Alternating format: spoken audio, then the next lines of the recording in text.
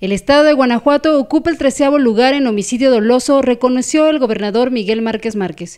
El mandatario estatal resaltó que hay temas de seguridad que deben legislarse de forma inmediata para reforzar la seguridad en el estado. Ahí están los indicadores muy claros. Guanajuato sigue en el treceavo lugar a nivel nacional, sí, en el caso de homicidios dolosos.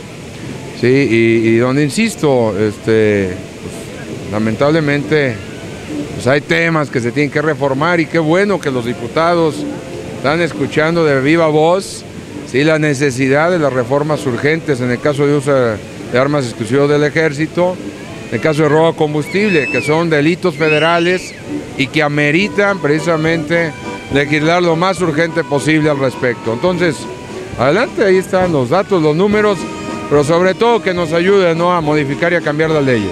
Al ser cuestionado sobre las fallas que tiene el programa de seguridad de escudo y que funcionarios políticos han catalogado como un programa disfuncional, el gobernador dijo que es un tema trillado por algunos partidos. Es nada más trillado que nada, es político. Eso sí.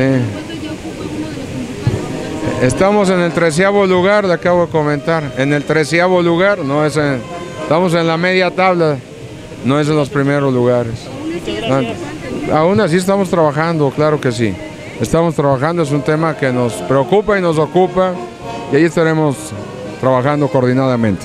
Al respecto sobre los asesinatos de dos ministeriales en Apaseo el Alto, el secretario de Gobernación, Gustavo Rodríguez Junquera, informó que ya hay detenciones, pero que siguen las investigaciones por parte de la Procuraduría General de Justicia. No tenemos ese, ese dato, ha habido algunas detenciones alrededor de los hechos y la Procuraduría General de Justicia está integrando las carpetas para poderlas judicializar, todos los que tienen alrededor de este caso.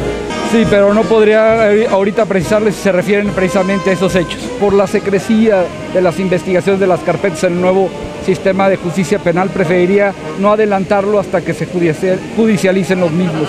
Con imágenes de Marco Reyes, Espacio Guanajuato TV, Montserrat Flores.